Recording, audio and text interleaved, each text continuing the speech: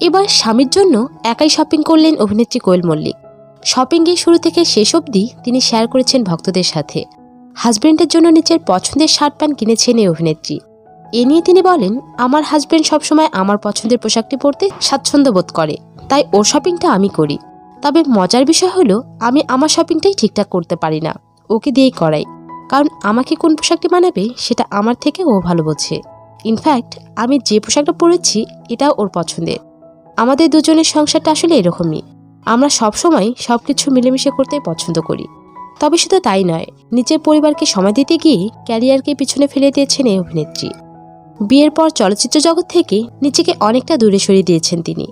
তবে যে সকল ছবি তিনি করেছেন, তার প্রত্যেকটি ছবি ব্যবসা সফল হয়েছে এবং সেখান থেকে তিনি জায়গা করে নিয়েছেন ভক্তদের মনে।